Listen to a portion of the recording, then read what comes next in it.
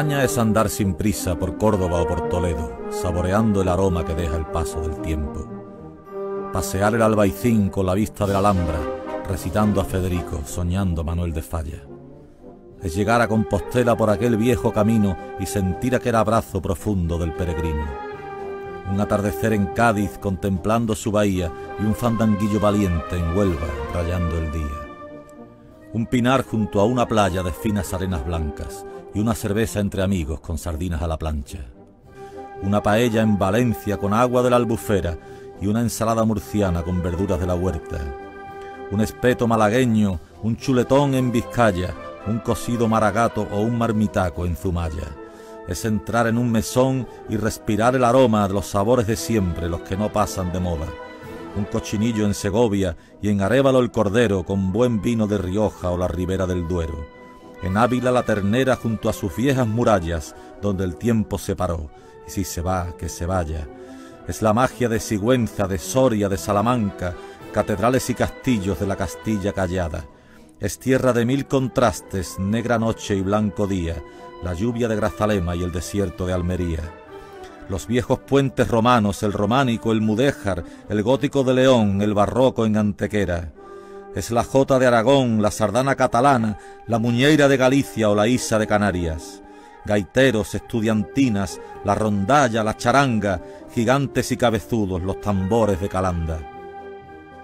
El tamboril del pastor que sueña la transhumancia hacia los pastos del sur con sonidos de dulzaina.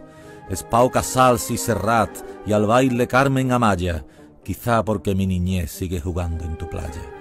Es el nen del Pobla Sec escribiendo en su cuaderno para que pintes de azul tus largas noches de invierno. La locura de Gaudí y sus casas encantadas, las mujeres de Almodóvar y la gracia de Berlanga. Es el cante de un gitano moreno de bronce y fragua que canta con mucha pena y al cantar su pena espanta.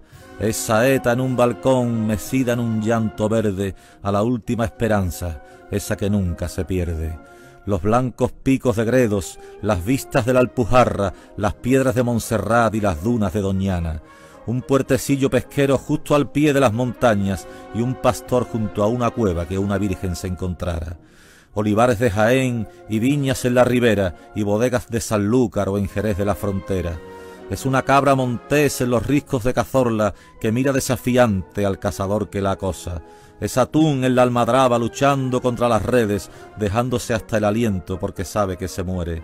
San Fermín es en Pamplona y en Alicante fogatas, y en Almonte una paloma que vuela de madrugada. España es como esa noble y vieja encina extremeña que nos da sombra en verano y en invierno nos calienta. España es aquel Quijote manchego y universal que dicen que estaba loco, pero estaba muy cabal. Rinconete y cortadillo y un buscón llamado Pablo y una virgen con un niño que ha nacido en un establo. Es país de soñadores, de artistas, gente bohemia que se morirán soñando, contemplando las estrellas. España es Pablo Picasso pintando sus arlequines, los borrachos de Velázquez, de Murillo, querubines, los monjes de Zurbarán y las playas de Sorolla, y es el Cristo de Dalí y son las majas de Goya un soneto de Quevedo, un drama de Calderón, una comedia de Lope, umbral de Libes, Galdós. Machado muerto de pena, exiliado en tierra extraña, mientras en la radio suena aquel suspiro de España.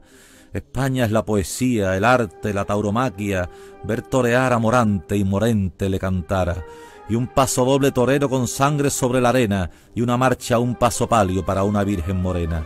Es don Juan y doña Inés en la reja del convento, es Cayetana en las dueñas y en ronda Pedro Romero. Y bandoleros famosos con pañuelos en la frente, pistolones en el cinto y navajas de Albacete. Y una copla en unos labios llorando en un lavadero, como llora Juana Reina por la muerte de un torero. Un beso en una estación y un adiós con un pañuelo, y el emigrante sonando viendo alejarse a su pueblo es la ropa bien lavada secándose en la azotea y las vecinas charlando en las viejas casapuertas. Es Napoleón huyendo de las mozas gaditanas y es el llanto de Boabdil cuando salió de Granada. El 2 de mayo en Madrid con un pueblo en pie de guerra y aquella armada invencible que naufragó en Inglaterra. País de viejas leyendas que se cuentan junto al fuego, el cantar del mío Cid y los romances de ciegos. El capitán a la triste por las ciénagas de Flandes, hasta morir en Rucroa agarrado a su estandarte. Es el viejo refranero del que siempre se echa mano, no por mucho madrugar amanece más temprano. Es farra en Maracaná en tiempos de Don Matías y es la locura de Iniesta, el gol, el triunfo, la vida. España es barra de bar y un par de buenos amigos y es una conversación entre sorbos de buen vino.